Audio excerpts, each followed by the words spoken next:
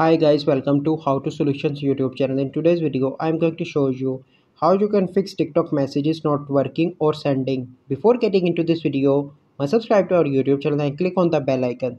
The first step is you need to open TikTok. Once you open TikTok, you simply need to click on profile in the right bottom corner and then you need to click on three bars in the top right and then you need to click on settings and privacy and here you need to click on privacy and then if that feature is on private account you simply need to disable that. Okay. And then you need to click on inbox. And then you need to click on message icon in the top right and select any conversation. And then you need to select send a message. So you can see that now messages are working because that person also follow me. Let me show you. So you can see that that person also follow me but if a person is not follow you let me show you an example. Let me show you an example of a person that not follow me and i'm only follow him.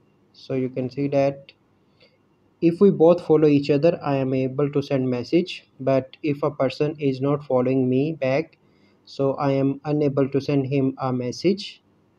Because tiktok only allowed to send message to the person that follow you so let me find a conversation but this is also a conversation. So let me find a person that don't follow me back like this one.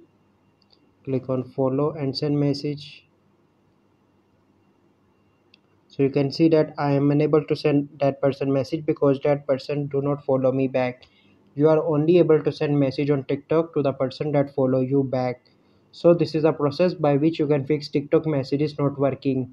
I hope you find this video helpful. If you find this video helpful must like this video subscribe to our youtube channel for future videos. We'll see you in the next video. Thank you. Have a good day